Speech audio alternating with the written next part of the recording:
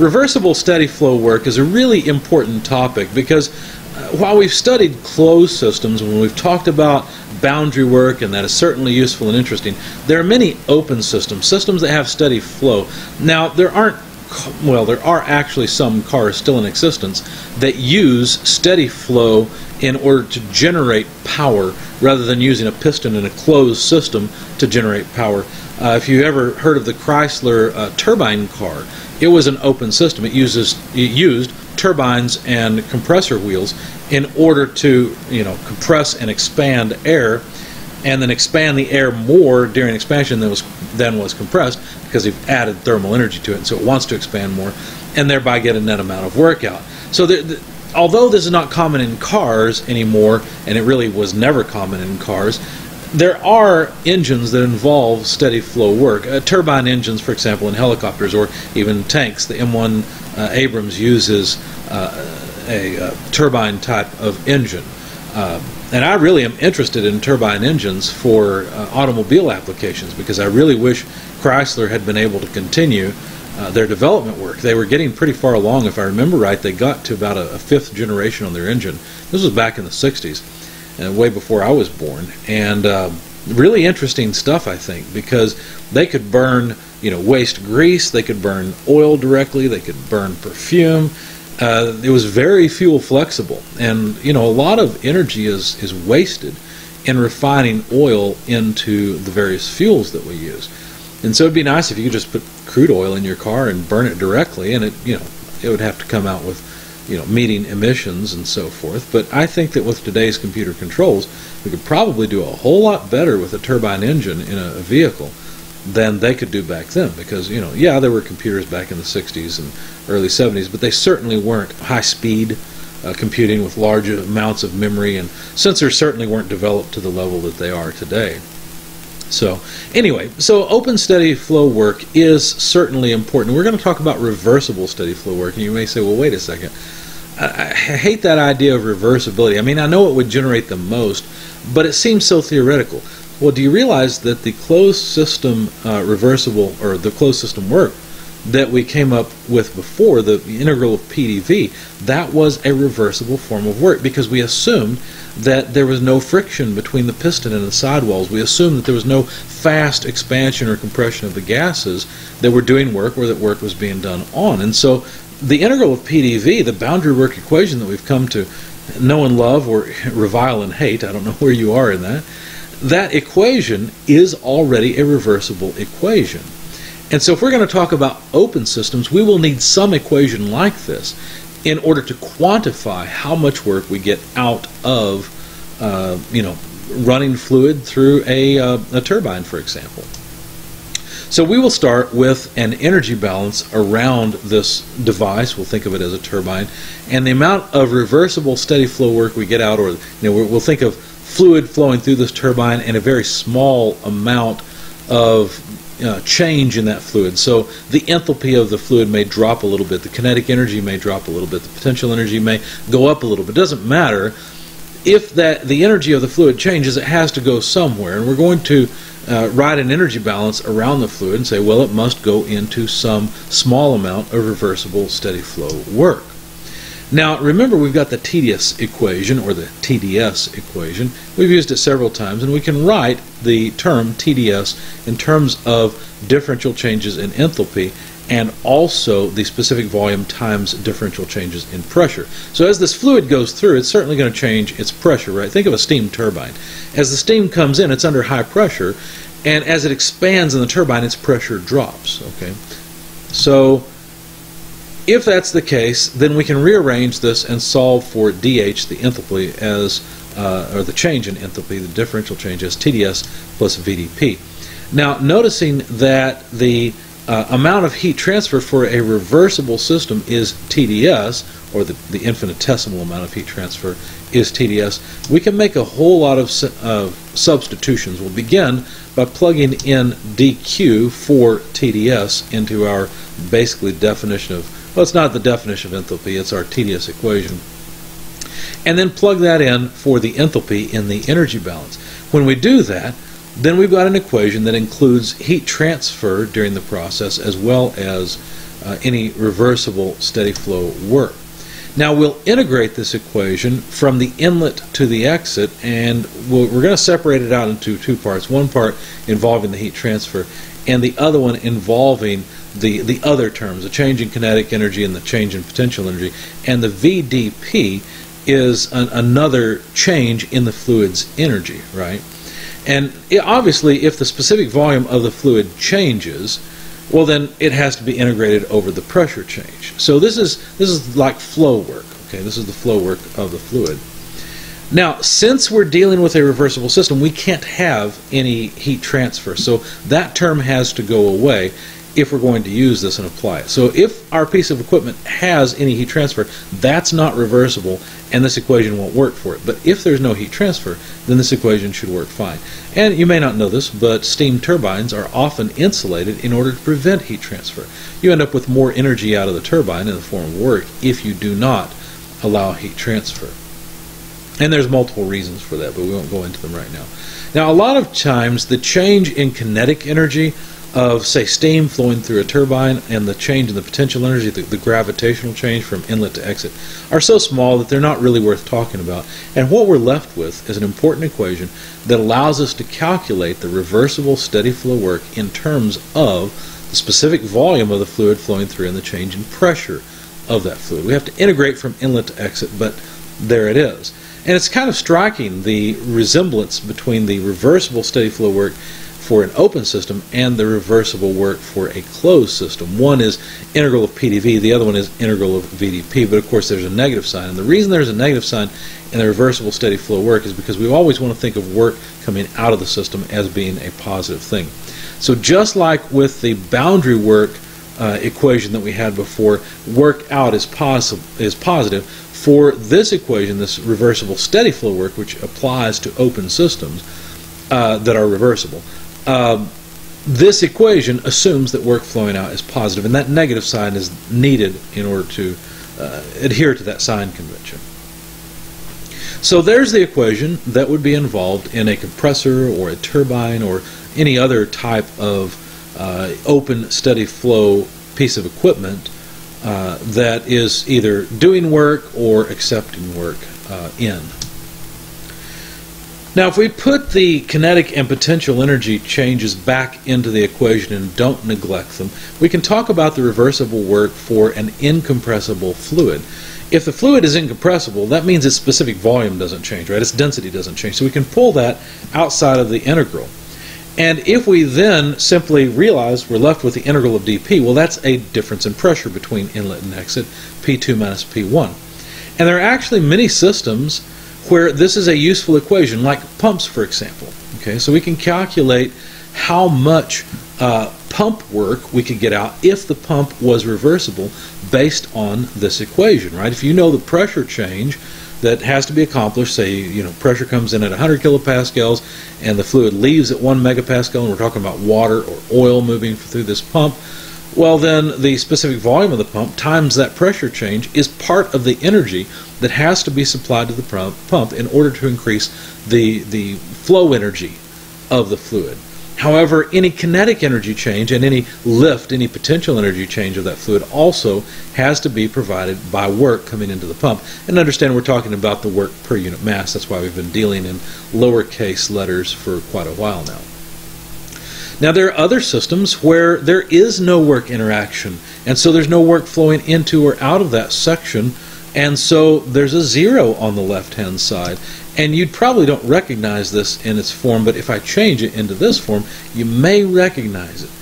Maybe you've had a fluids class where you dealt with you know the uh, velocity head and the, the static head or the, the gravitational head as well as the uh, pressure head in pipe for example Okay, that is what this equation is good for, and it's called Bernoulli's equation. The reason you may not recognize it is because a lot of times there's some other there's some rearrangement that's usually done. For example, the acceleration of gravity g is usually divided through the whole thing, so you have v squared, you know, v2 squared minus v1 squared over 2g. And you, so you have a G under the uh, pressure difference as well. But also, instead of using specific volume, they usually use density, which is the inverse. So if you multiply what ends up being in the denominator under P2 minus P1, the acceleration of gravity times density, you get the specific volume of the fluid, which is usually written as gamma. And so you've got your, your uh, pressure head, your velocity head, and your elevation head, and this is just Bernoulli's equation. So it's kind of interesting that Bernoulli's equation can be derived from an energy balance for an open, steady flow, well, not necessarily steady flow, but for an open system. And of course, Bernoulli's equation applies to all sorts of things. Uh, carburetors, for example, uh, airplane wings, uh, all sorts of things use Bernoulli's equation.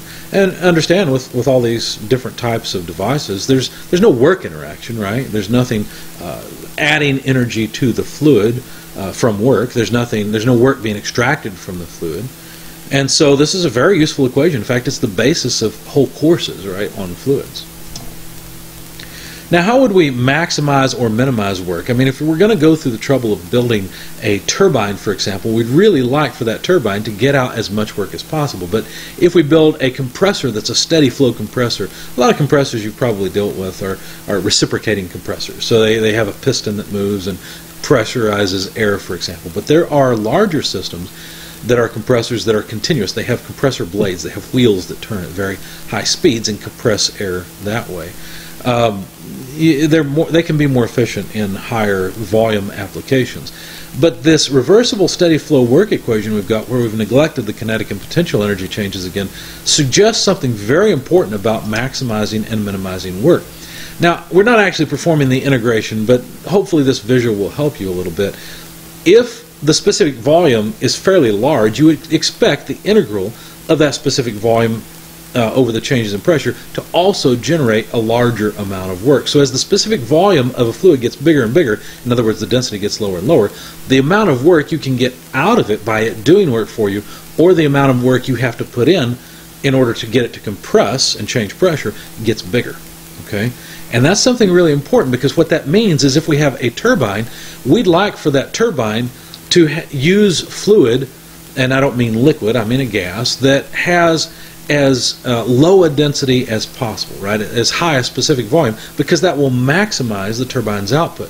Whereas if we have a compressor wheel, what we'd like to do is compress gases that are already as dense as possible, that have low specific volume. And that will minimize the amount of work that has to go into the compressor. As a matter of fact, you may have a car that has a turbocharger on it. I've got two of them. They, they're not really fast. A lot of people think that when you put a turbocharger on a car, it just makes it a, a, racing car. And while turbos are used for racing cars, they're also used for diesel engines. And so Cummins, for example, uh, will actually tune their engines in a sense by determining how many turbochargers to put on them and exactly what the size of the wheels should be and a lot of specifications for the, for their various customers because you know their customers have different applications for these very large engines and the easiest way to change the engine significantly is to change the the characteristics of you know the, the blowers essentially the turbochargers that are pushing air into the engine now, if you know anything about a turbocharger, really it consists of two parts, and they're connected by a shaft. There's a compressor wheel and there's a turbine wheel. And what happens is the exhaust gases coming out of the car drive the turbine wheel, which drives the shaft, which connects to the compressor wheel, so that the air coming into the engine is no longer so-called naturally aspirated. The engine's no, no, no longer naturally aspirated. It doesn't just open up an intake valve, pull the piston down, and the atmosphere push air into the engine. Rather, the compressor wheel pulls in engine pulls in air from the atmosphere, or better yet, the atmosphere pushes air in. But then that that compressor wheel compresses it, right? It, it makes the pressure higher. Now, if you make the pressure high, that's great. That's a good thing because you can push more air into the engine. The problem is, as you compress the air, it warms up. And as, it's, as it warms up, as it temp its temperature gets higher, its density decreases, okay? So uh, its specific volume increases. And that's a problem because if you take that, that air that's already expanded, it, it, can't expand as much, right? You'd like to condense it down a little bit, and that's the whole reason for having an intercooler. Well, I guess it's also good that you don't blow the head off the, the car when you compress the air again with the, the piston. But the whole idea is to cool down the air so it becomes more dense and less specific volume. So it doesn't take as much work to compress the, the, uh, the air in the piston because it's going to be compressed again after the compressor wheel but also, of course, the pressure doesn't go too high and you uh, damage the, the engine. So this is a really important thing because it tells us something about the idea that maybe even at this point, you, you heard me mention it earlier, but you may still think, well, I don't see why we couldn't do that. Because if you think about a typical power plant system that operates on a steam cycle, the boiler takes in liquid water, boils it off, and you know that takes a lot of energy, right? When you take water from the liquid phase to the gas phase, there's a significant amount of latent energy you have to put into that water to get it to boil off. Okay, so that's what's done in the boiler. And of course, the boiler superheats the water. It takes it beyond the saturated uh, vapor phase. And then you run this super hot steam through a turbine, but then you take that steam and what do you do to it? You condense it out again. You basically throw away all of that latent energy, and it seems like it didn't help at all, right? It seems like it's almost as if we're trying to burn more coal or use more nuclear fuel, and why are these engineers so stupid as to do this? Well, actually, it's a good thing to do this, and the reason is not because it burns more coal, but because it actually burns less. Okay, coal uh, coal-fired power plants have to pay for the coal they burn. They don't want it to cost anything, right? They'd like for it to be free, so they're going to burn as little of it as possible. They're going to make their systems as efficient as possible, and when they're not efficient anymore, they're going to go get another one, right? Just like you, you might, you know, if you're driving your grandparents' car around, it's probably time for an upgrade, right? A 50-year-old car. Uh, so anyway, the whole reason for doing this is because think about it. If you have steam on the turbine side, you've got a fluid that has a very high specific volume or a very low density. It's going to generate a lot of work in the turbine. But on the pump side, since we're dealing with a liquid which has a very high density or a very low specific volume, the amount of work required in the pump to pump the liquid back up to the boiler pressure, which is a heck of a lot higher than the condenser pressure, that amount of work is actually really small. If we did not have the condenser, or if we didn't condense it all the way out to liquid, we'd have to have a compressor on the side compressing a gas where the specific volume would be very large and therefore the amount of work required would be very large. Doesn't mean it's impractical in all situations, but for a, a, an installation that doesn't have to move or doesn't have to fly, uh, you know, a coal-fired power plant, this would be horrible because so much of the energy generated by the turbine would go into the compressor in order to recompress the steam. In other words, if you do the analysis, what you find is that it's better to throw away the latent energy of the water rather than to compress the water as a gas. It's much better to compress it as a liquid. So it's it's easy to find processes where you've got you know a 250 megawatt turbine, for example, being you know using a pump that may only be a thousand horsepower or you know 700 kilowatts. There we go, about roughly 700 kilowatts. So 700 kilowatts by comparison to 250 megawatts. I mean that's like comparing you know 250 million dollars to 700 what thousand dollars, right? There's 250 million is a whole lot bigger than 700,000. So it makes a lot of sense to do this. Whereas if we had a, uh, a you know a, a, compressor like this, we'd be taking easily 100 megawatts to backdrive the compressor, and it's much better to throw away, as I said, the latent energy in the water. You actually end up ahead. Now another place where this can be used, we can finally explain why air compressors use cooling fins. The reason they use cooling fins is because you're going to throw away the some of the energy in the, the air that you compressed anyway, right? It's going to go into a tank and it's going to cool down anyway.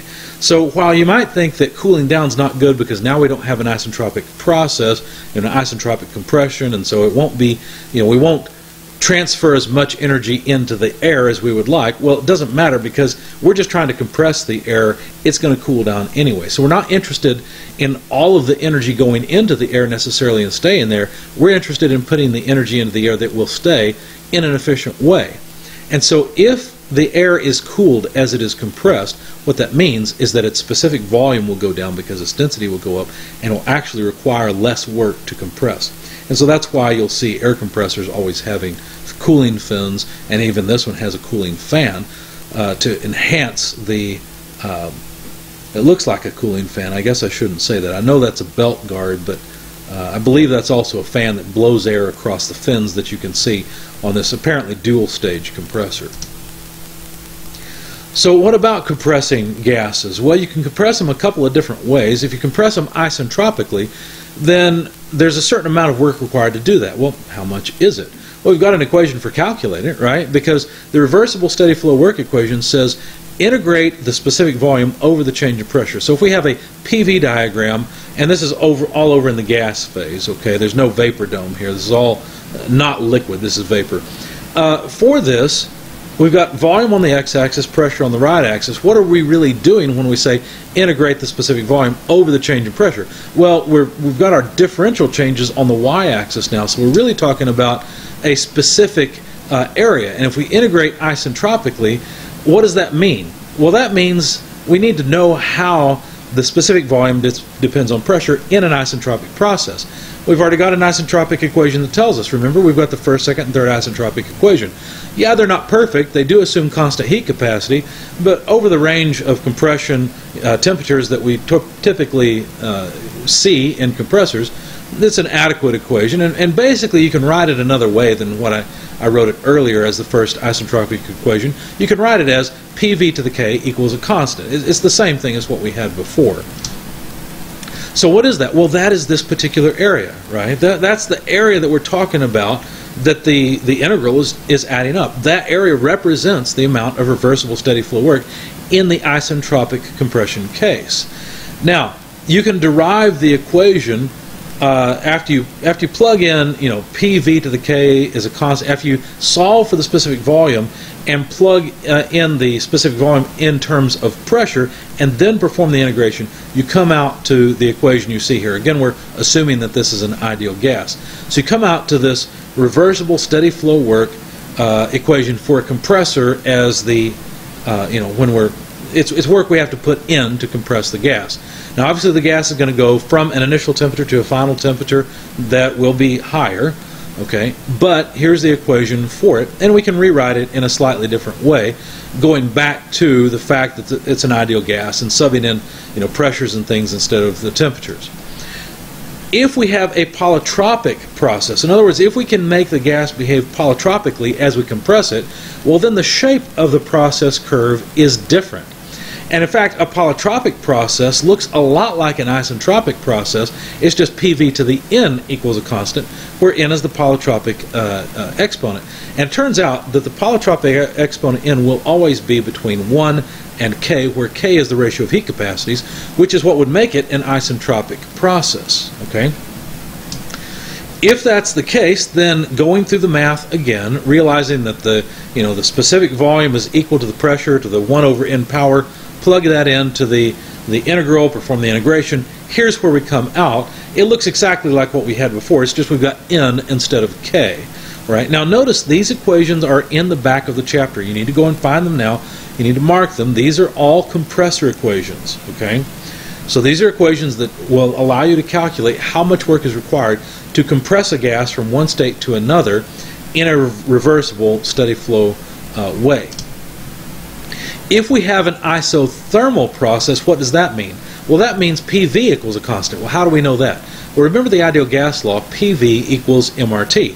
If the temperature is constant, then M, R, and T on the right-hand side of the equation are all constants. Therefore, PV is a constant. So you see the logical progression here from PV to the K, PV to the N, and PV, where V is now raised to the first power instead of being raised to K or N. So this is an easy one, right? Because all we have is 1 over p equals v. Plug that in, we'll end up with a natural logarithm from the integration, and here's where we end up. So RT natural logarithm of the pressure ratio.